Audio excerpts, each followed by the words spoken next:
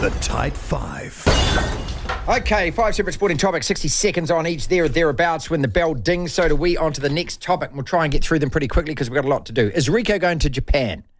Is it a bona fide three way title race now in the Premier League? Say something encouraging or positive about the Black Caps before Matt Gunn comes on and be really positive about them. The Breakers, the Warriors, kicking it off.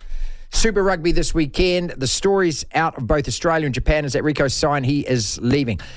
Do you believe this is true? Well, um, I'm pretty sure he broke the story. Uh, but Christy Doran, out of the Roar in Australia, who we've had on the show a couple of times, he's reported it. So I'd believe him. So by that, I believe it's true. And I don't know. I, I, this is always my thought with these stories. When there's smoke, there's fire. There's a lot of smoke. There's a lot of smoke, both on this area of the in this area of the world and also in Japan. So I think it is true. Rieko Ioane says, I don't know anything about it. We approached the New Zealand Professional Rugby Players Association and they said, We don't know anything about it. It was virtually the same quote that Rieko said, which leads me to believe that it is true because working in this business long enough, when people deny it as emphatically as that, there's normally something to hide. This is a real was a worry. weird thing to say as well. This is a real worry for me in that up until now, the, the lure of the All Black jersey has kept players here. Uh, we haven't lost a first choice All Black in the prime of his career. And, Luke McAlister. well, uh, easily replaceable. Let's be He's never a first choice All Black, was Well, he was he started for us in the World Cup quarter final, man of the match. Yeah, we lost to France, but? Uh, never. I would look. I, I would consider say like Ardie Savea decides to go permanently, right? oh, Ardie's much better than Rieko. Okay, so but I'm talking about like when Jerome Kaino left, that was a bit of a shock. Although he said he only wanted to go for a couple. He eventually came back. Chris Jack, one of the best locks in the country, well, in the world, really, when he left. But He at was in the, the prime. at the end of his kind of at the Uh, end he of his All Black career. 27, 28 when he left. Anyway, sorry. I- Continue. well, it's- continue. the sorry. idea that we lose one who has actually still got four or five years left in an All Black jersey and, and it being a first choice All Black, this could open the floodgates. If that Silver Fern is not the lure anymore, instead of playing for pride, it becomes a ticket to ride. It- it- we could be in a situation like New Zealand cricket are facing themselves where players are using that jersey, and so they look at them. I'm not. I'm not saying. I'm not saying that they shouldn't go and earn the money. Or hell, I'm not telling you not to. But where the jersey is basically a ticket to get bigger riches. So you do a little bit of time in the national team, and you earn your stripes from that to be able to get overseas contracts. And how the hell do we keep players here if we don't? If we if we can't pay them as much? I would think that if the All Blacks, I don't think it's as simple as this. There's plenty more going on, and uh, part of it is not to be disrespectful. Part of it is Rieko's own motivation to get paid, but I do think part of it is the form of the All Blacks over the last couple of years and their inconsistencies. Well, that's down to the players, isn't it? Well, it's down to the players, but to his credit, Rieko's not one of those players. He's been one of the better performing ones over the last Yeah, year or so. true. And you and I are cri- very critical of Rieko. Well, I just I don't to think whom he's a much is given, much is expected. I think he But- just should be held a lot better than he is. But I mean, if this was the All Blacks of say nine years ago, so 2014 or no, go 2012, well, after- we won the 2011 World Cup, Graham Henry stepping away, or even after 2015, when we had all those. That's a better example. We had all those good players leaving. There was still kind of like a foundation of talent coming through. We Mm-hmm. still had a good coach. Uh-huh. So there's a lot to keep players around. We had the Lions series a few years after that. And there's still a bit to stick around, I would think.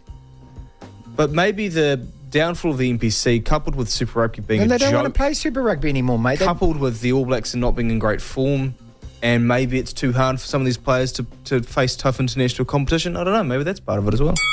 Is it a bona fide three-way title race in the Premier League? Yes. No. It is. No, well, it's not. let me answer because you asked me. Purely based on numbers and the fact that there's five points between first and third.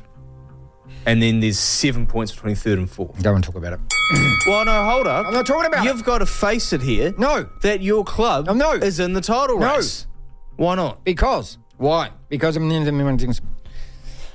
You won't jinx. See, them, what okay? I say on the radio 12,000 Did you miles away say is going to make an absolute did effect you on what goes on in the park in Old 20 Trafford. in 2013 or something that meant that do you say something on the lines of that? You know what? Moyes is going to come and we're going to win all these trophies, and then up. that didn't happen. So now you're so nervous about saying anything along those lines. Say something positive or encouraging about the Black Caps.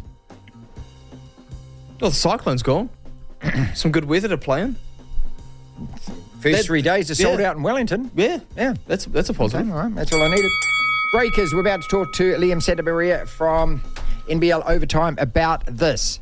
We, was it ever in doubt with you yesterday? Because it wasn't in doubt for me, even though that, and I watched most of the game, even though the Breakers struggled early, they were down early. This team has made a sterner stuff. And once they got their defensive act together, and Liam will explain this a lot better than I, because he's our basketball guru when it comes to the ANBL. Uh, but I was never really worried that the Breakers were going to lose that game. Um, I was a bit, I was a bit nervous because it was a sudden death playoff matchup, and the uh, Breakers haven't been in that position for a couple of years. Yeah, a number of years. But I just think Modi Mayweather's got them made it to sterner stuff at the moment. They just, you know, they're not a team that collapses and folds. They're they had that what four game blip during the season, it was three or four. three yeah. or four overcame that. Yeah, I don't know. I just, I just, I've just felt like once we got the defensive end sorted, and that's both ends of the That's court. I'm just, starts. yeah. I'm just talking about the rebounding and actually competing in defence. And I just thought, nah. I was, just, I was always just thinking, yeah, we'll get through this. We Warriors. Okay. Stopped. I may have been a little over exuberant after the, the preseason performance against the West Tigers. Down to earth with a goddamn thump yesterday. Are the Storm that good? Yes, well, the Storm have done this for a number of years now, where they lose really good players and they seem to find these Yes. randoms out of nowhere, Yeah, and they it's do. still really good Yeah. because of their coach. Well, it's, Um, it's also the structure of the place. It's, it's you know, and you've got to remember this is a franchise side that should never have survived, Lock. And they were the what? They were the combination of two teams, two Super League teams. That, Perth and someone else, And Adelaide, wasn't it? That's Adelaide Rams. something stupid, like that, whatever it was, and yet, and yet they have been so remarkably consistent year after year after. Is, it- is it the coach? I mean, can you actually credit Craig Bellamy with this, with all of it?